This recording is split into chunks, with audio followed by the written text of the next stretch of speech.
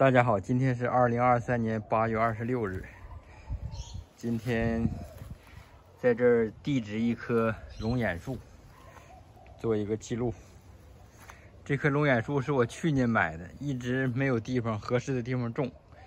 去年开花没结着果，然后今年，现在澳洲已经是春天，又又有花骨朵了。但是我这个盆儿很小，才三十厘米的盆儿。所以再不地植的话，今年还坐不住果，然后也影响它生长。这边的坑，土坑已经挖好了，挖了挺深。然后这个下面那个不适合种植的土已经都弄出去了。然后这边是上边是上边上层的原土，加上这三种土，一种。这两种土加上一种鸡粪，跟这个原土混混合，然后给它，呃，这个洞底下垫一下，再把这个龙眼树种在里面，用这营养土培上。这个是这颗龙眼的品种。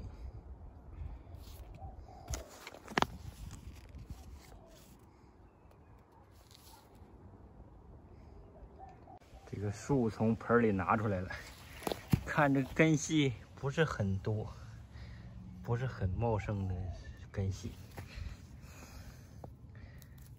然后把这下边这个打散一下，打散一下。这有些根断了，没事儿，断一点然后让它在下边往土里头扎，不要不要聚成一个团儿。尽量是要往外扎根。树已经放在土坑里，让它这个露出土这个地方跟地面保持一平或者稍高一点点，然后往上培土。土先不要把这个坑填平，在这时候留一段距离，然后浇上一通。一桶水，这样的话把这水倒进去，让它浇透，甚至让它弄成泥状，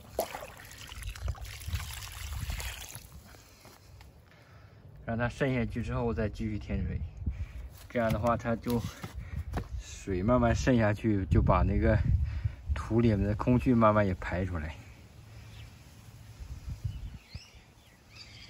然后再填平，再浇一桶水。这棵龙眼就栽种完毕。整体看，这棵树的状态不是很好，因为买了一年，一直放在小盆里，那根也没舒展开，这个果树长得也不是很好。希望这这个地址以后能够长得好一些。今天是二零二三年八月二十七号，这是我的一棵龙眼树。昨天我把它地植在这儿了。今天呢，我要把这个树修剪一下。嗯，因为树还很小，今年这个花，这个花苞都给它去掉，因为太小坐不住果，还耗费很多营养。今年地植在这儿以后，就培养一年它的枝干。枝干长得粗壮了，这个明年为明年结果做准备，所以今年这个花苞一个不留，全剪掉。这下边的老的枝条给它剪掉，然后这个这个有个花苞，看看不要，然后这个长出来的花都不要了。然后这个，这个也是花树，这个都掰掉，都不要。这个给树造成很大的负担，然后到最后果还做不成，都掉落了，白白耗费营养。这个也不要舍不得，因为它还没有成年，没有达到那个身体条件。先不能让它结果，行，大致就修这样，让让它今年长得粗壮一些，树长大，明年再考虑结果的问题。